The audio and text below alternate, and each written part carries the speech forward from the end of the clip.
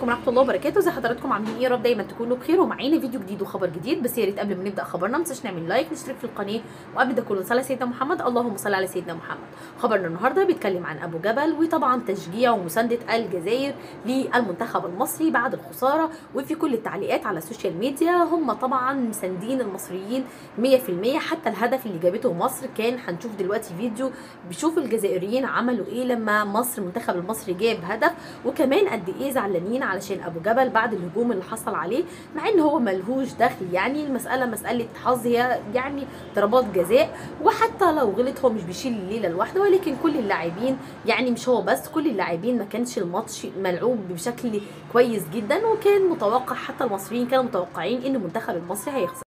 إيه ده آراء الناس اللي بتفهم في الكورة والمحللين هم اللي قالوا كده. ولكن طبعا للأسف الشديد معظم المواقع منزلة ومحملة أبو جبل يعني مش هيلين الشيله لوحده ولكن مش هو لوحده المخطئ ابدا ابدا ابدا. ولكن في زي ما في ناس كده.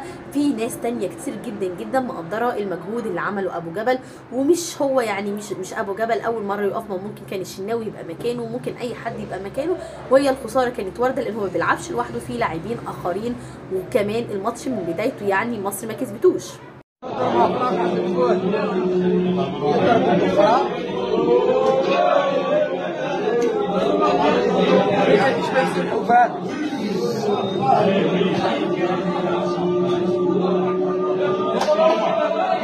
Whoa!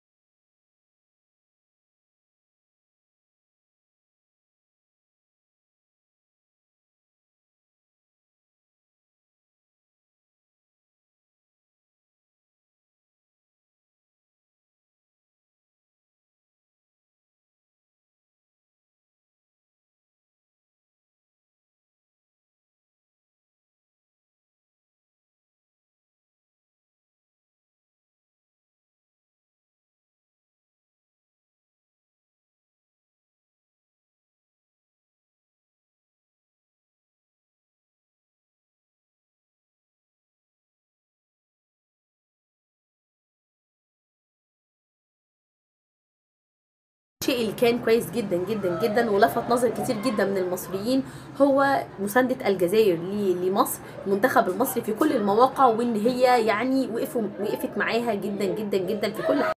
نتمنى له كل التوفيق إن شاء الله والسعادة وكمان كل سنة وهو طيب بمناسبة عيد ميلاده وإن شاء الله الأيام المقبلة بإذن الله تكون كلها خير يا رب العالمين علينا أجمعين. أشوف حضراتكم على ألف خير في فيديو جديد وخبر جديد وشكرا جدا لأهل الجزائر اللي ساندوا المصريين بعد خسارة المنتخب المصري. السلام